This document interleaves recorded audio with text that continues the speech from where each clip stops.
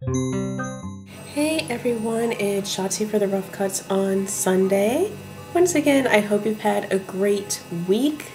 I am still over in Germany, staying at one of my friend's places, and so I decided this week I'm going to talk about one of his films.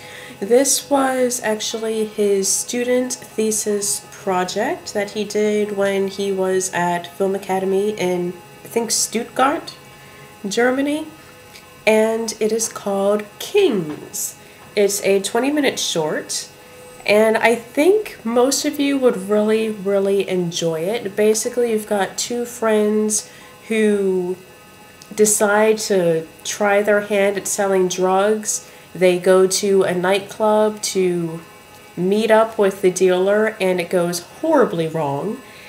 And I don't want to give away too much, but this combines horror, sci fi, and martial arts. In the two starring roles, you have the German hip hop musician Olli Banjo. I know I'm butchering these names, really sorry.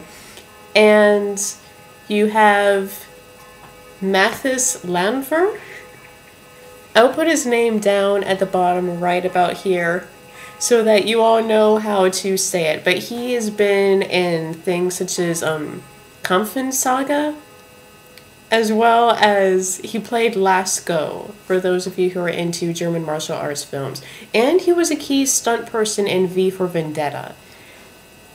Didn't quite make his international career, you know, go off, but from my understanding, he's still pretty popular in Germany.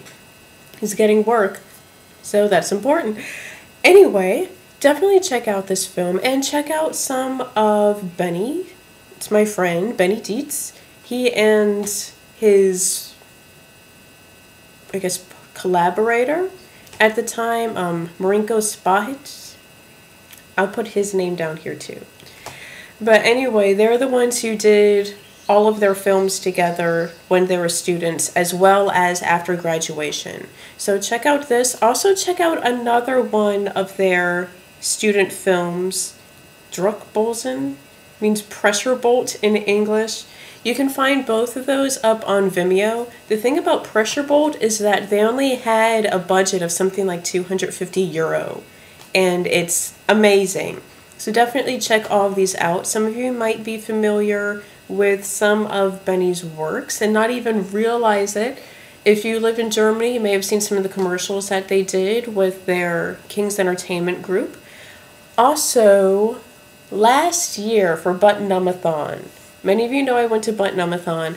Anyway, Harry Knowles had a contest for one seat to get in, and his theme was to traumatize one of your favorite scenes from any film that you've ever seen in your life. And many of you saw the, it's very, very short, I don't even think it's a minute long, the traumatized version of Aliens. That was Benni. He did that in like not even two days. It's amazing. He's, he's like scary amazing. Anyway, so check out his things. I'll put a link up to his website as well as to his Vimeo channel so you can check out some of his work. Definitely worth a look. Anyway, I will see you all next week and I hope you have a wonderful weekend.